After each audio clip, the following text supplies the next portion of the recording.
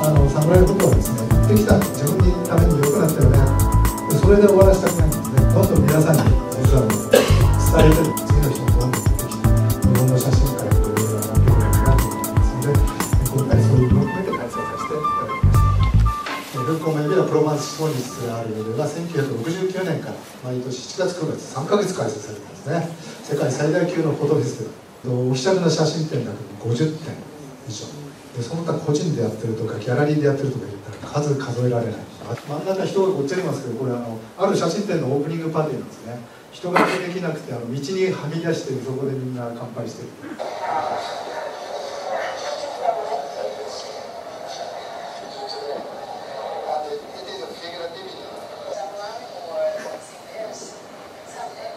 フォトフォリオレディです。今先ほどビデオ流れました。100名のエキスパート250名が大体参加しました。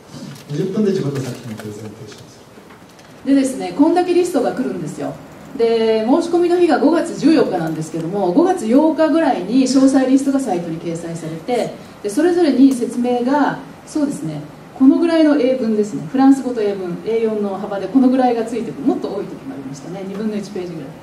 えー、110名分。さあどうしましょう。ということで全員で手分けして約1人10人ちょっと、えーまあ、1週間ぐらいでですね全部翻訳してこういうふうに表現しました、えー、とにかく人気がある人はですね初日の段階でかなり埋まってしまいました。あその後ですね、えー、予約がいろいろこう変わるっていうようなこともあったんで、えー、常にチェックしてですね自分のその予約の人たちを調整してきましたが誰がいいのかっていうのはですねなかなか難しかったんですね。というのはあのこのレビューを何の目的で受けるかっていうことがこの段階であんまりはっきりしてないんですよ。例えばプリントを売りたいとかですね。海外で写真展をやりたい。出版したい。こういうことが明確でしたらそのためのエキスパートを選べばいいんですけど、まあ、私の場合はですね急にドタバタしてましたので、えー、まあでも多分出版っていうのは、えー、あまりないかもしれないなって思いましてギャラリーを中心にえー、いろんな国の方とお会いしたいということで、えー、英語の話せる人を条件に選択しました。15セッション、えー、受けましたので多い時には1日6人の方に、えー、お会いしてですねプレゼンしてちょっと結構かなりヘトヘトでしたが今から考えれば20セッションぐらいいけたのかなと、えー、欲張りで。やはり私にとってはこの半年自分がこの作品を見つめ直したという過程が非常に大きな財産になりました、えー、まずステートメント。これはもう本当に大切で、えー、自分がなぜこの作品を撮ったのかということを、えー、見つめ直すことができました。でそれによってですね作品のセレクトや、えプリントの追い込みに全て理由をつけて、え仕上げることができました。えー、このステートメントの作成やプリントの作業は、えー、制作工程における事故との対話手段で、作品に熟成をもたらすものというふうに今考えています、え、プレゼン時ですね、え、まあ、そういう形であの個々の写真についても一つ一つ英文を用意していったんですけれども非常にその EU 的なあそのものをですね、え、明確に説明することができました、えーと、英語はやっぱり非常に足らなくて、えもっと勉強しなきゃいけないっていうのはあるんですけれどもまあポツポツながらもですねえその意図を説明することができたと思います。またあのプリントはですねおかげさまで、えー、侍メンバーにですね非常にサポートしていただきました、えー、私のプリントレベルは足りなくてですね、えー、実際の自分にやりたいことがまず表現できなかったんですけれども、えー、紙の選択それから、えー、フォトショップでの加工プロファイル作りでこちらが、えー、私が今まで使ってたカラーモンキーのパッチ。でこちらが今回ですねこれでは不十分ということで I1、えー、変えてませんまだ。変えてませんけれども侍のメンバーが先生にですね作っていただいてこれをもとにですね、えー、キャンソンキャンソンのシルバーファシルバーファイバーラグっていうですね、えー、紙にプリントして非常にこの紙がグレーのディテールが非常に美しくてですねえー、私の写真はどちらかっていうと非常にあの暗い暗部の表現が必要だったもので、まあ、こういうそのプロファイルを使うことによって、えー、作品を作ることができました。実は私行くと決めたのが3月の終でして あのサムライフォトに参加させていただいたのがちょっと3月末でえー、あるに行きたい人はまず手を挙げてって言われてなかなかよく分かんなかったんですけども行きますと言っちゃってですね、えー、行きますと言っちゃってからがなかなか大変だったというお話もありますがで時間も限られてましたし逆にあの撮影に行ける機会っていうのも非常に限られてたのでどちらかというとモチーフから決めてしまったところはあります。でそれが今に至るまでちょっとステートメントでかなり悩んでいるということもあるんですがもう5月の半ばぐらいにはもうエキスパートの方を予約してるんですけども私その時作品がありませんでしたありませんでしたのでどういうか最後どうなるかっていうことの展開が見えなかったのでいろんな方をあのセレクトしたんですね。結果的にいろんなフィードバックをいただくことができましたのでそれはプラスだったかなと思いますが逆にいろんな方をセレクトした中でそういう方たちに同じような見せ方でいいのかなってことだけちょっと気になったものですからその見せ方の工夫です、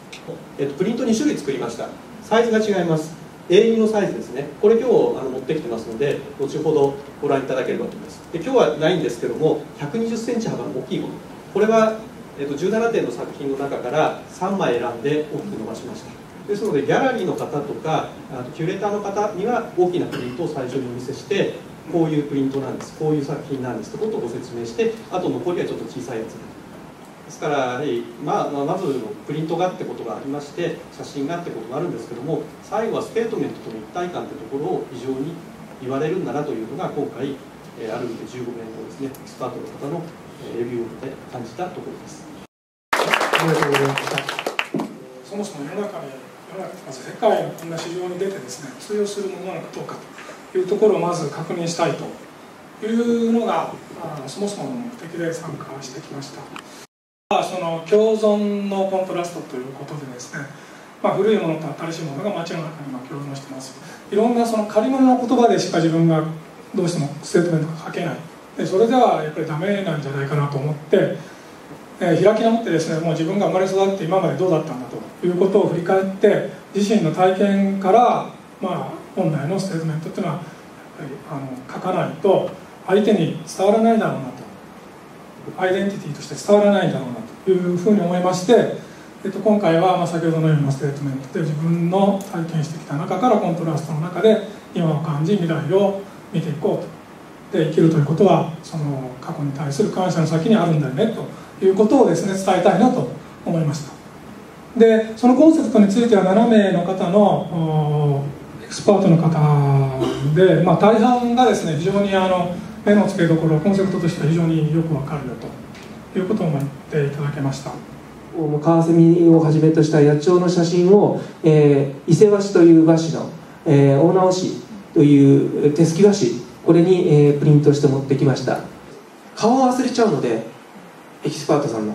あの直接その場で写真撮っていいですかなんてなかなか言えないので、えー、名前を見た名前の方で実際そうだったなっていう人の顔の写真をインターネットに引っ張り出してでそれを全部貼っつけてでその人のやり取りできるような、えー、URL だったりえー、Facebook のページを持ってる方もいらっしゃったのでそういった人たちのところを全部引っ張り出してメモにしてあります。まず第一歩会ってみた。行ってきた。でその後次どこかの会場でもしかしたらこの方々ともう一回会えるかもしれない。その時に私が顔を覚えてなかったら声がかけることできないじゃないですか。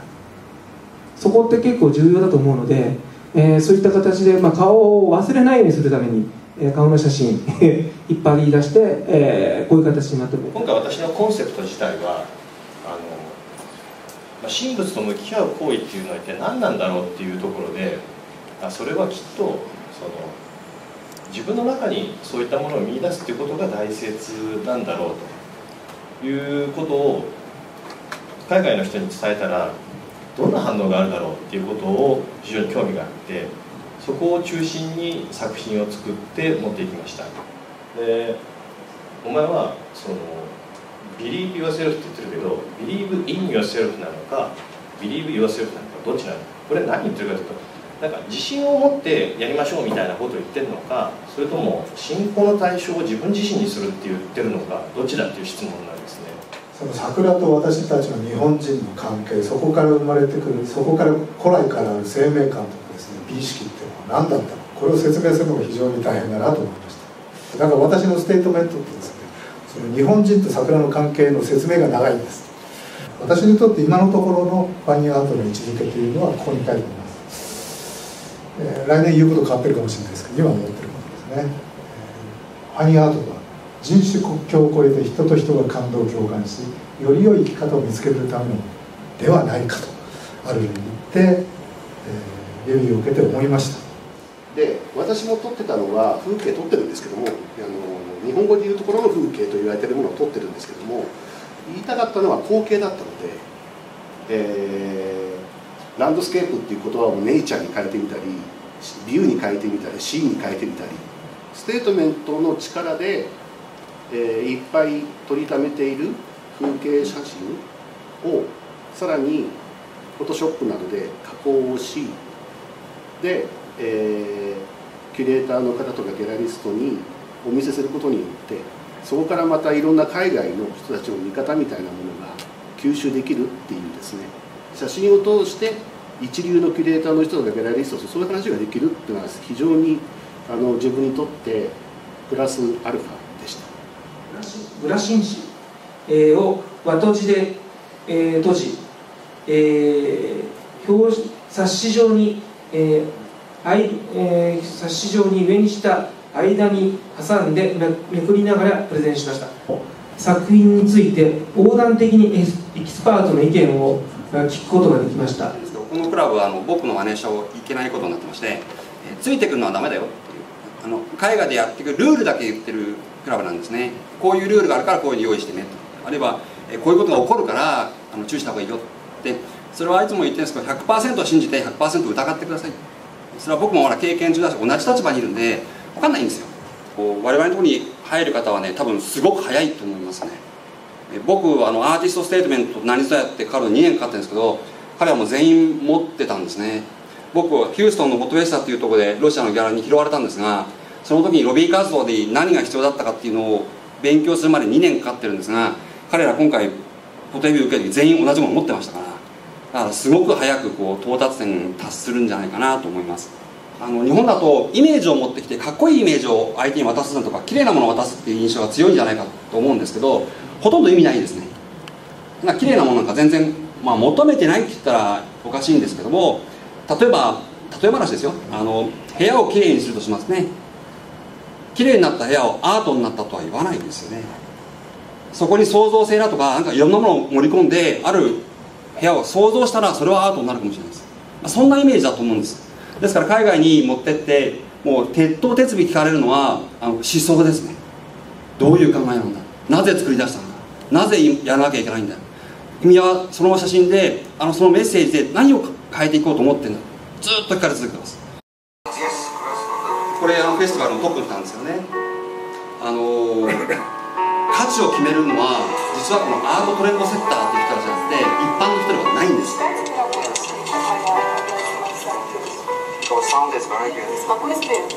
僕たち何が違うかっていうとまず大学でマスター・オブ・ファインアートっていうアートの歴史をすごく勉強してます。であと力がある。お金持ってますお金持ってるっていうのはその人が扱えるお金を持ってます。僕をあの明日に調べますよって大変にしたら多分航空券から全部出すから来てくれる要するに動かせるお金の額が大きいんです。ねだからこうやって決めると人を動かせる力がある。僕みたいな無名の人間をモスクワに連れてってそれこそ何十人というアートトレンドセッターを引っ張ってきてプレゼンさせる技術なんて僕にはないんです。一般の人にはないんですよ。価値が決めるのはアートトレンドセッターであって一般人ではないんです。もしも海外のアートシーンで自分の写真を出したいと思ったら彼らは説得できるものが見せられなかったら多分乗らないと思います。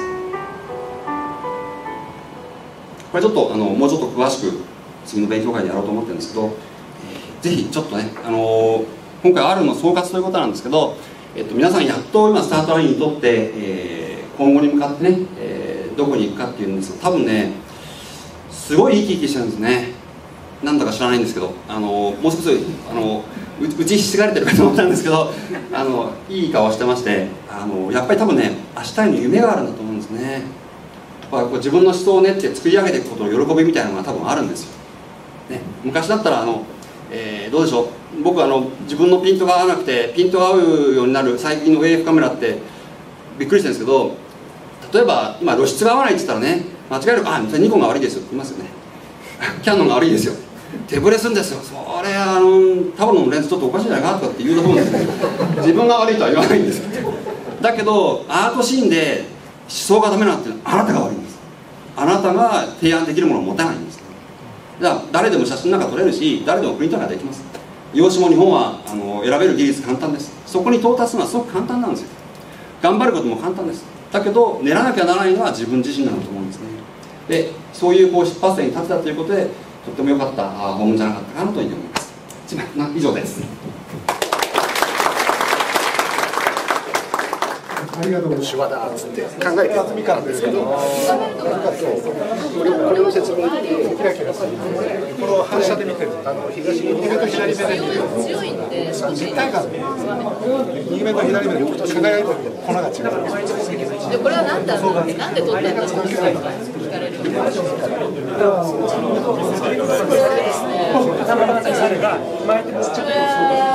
ですね緊張感もし特番の耳付きだったら半分だったら半分しか耳つかないじゃないですか、はい、そうかっこ悪いじゃないですかそうだからあんまり撮ってないんですけどあの出来上がる途中のやつとか。